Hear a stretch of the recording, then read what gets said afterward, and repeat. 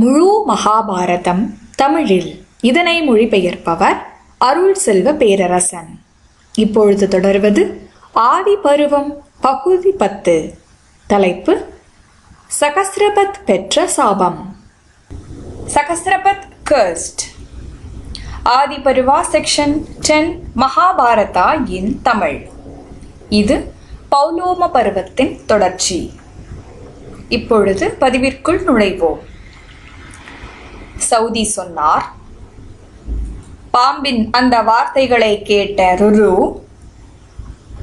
எனது உயிருக்கு ஒப்பான எனது அன்பு மனைவி ஒரு பாம்பால் கடிக்கப்பட்டாள். ஓ பாம்பே அது முதல் எந்த பாம்பை கண்டாலும் கொல்வது என உறுதியேற்றுள்ளேன் என்றான்.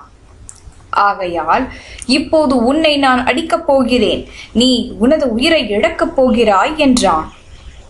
அதற்கு தந்துபா சொன்னது ஓ அந்தனா மனிதர்களை கடிக்கும் பாம்பினம் வேறு வகை.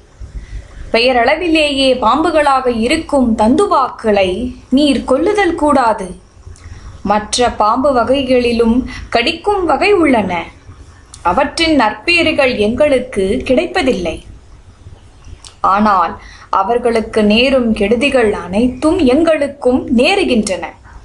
அவர்களின் துயரம் எங்களுக்கும் இருக்கிறது. ஆனால் அவர்களின் மகிழ்ச்சி எங்களுக்கு ஒருபோதும் இருந்ததில்லை. ஆகையால் இதை அறியாமல் தந்துபாக்களை கொன்றுவிடாதே என்றது. சவுதி தொடர்ந்தார். இந்த வார்த்தைகளை கேட்ட பாம்பிடமிருந்து கேட்ட முனிவர் ருரு என்னதான் அது பாம்பாக இருந்தாலும் அதன் பயத்தை கண்டு அந்த தந்துபாவை கொல்லவில்லை. அருங்குணங்களை கொண்ட முனிவர் ருரு சொன்னார் ஓ பாம்பே. முழுவதுமாகச் சொல் இந்த உருவத்தில் இருக்கும் நீ யார்? என்றான். அதற்கு அந்த தந்துபா சொன்னது ஓ ரு முன்பு நான் ஒரு முனிவனாக இருந்தேன். எனது பெயர் சகஸ்ரபத். ஒரு அந்தரனின் சாபத்தால் இந்த பாம்புரு கொண்டேன் என்றது. ருரு சொன்னான் ஓ பாம்புகளில் சிறந்தவனே.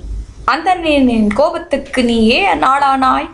எவ்வளவு காலம் நீ இந்த பாம்புருவில் இருக்க வேண்டும் என்று கேட்டான் இப்படியே அருள் நிறைந்த மகாபாரதத்தின் ஆரி பருவம் பத்தாவது பகுதி நிறைவடைகிறது.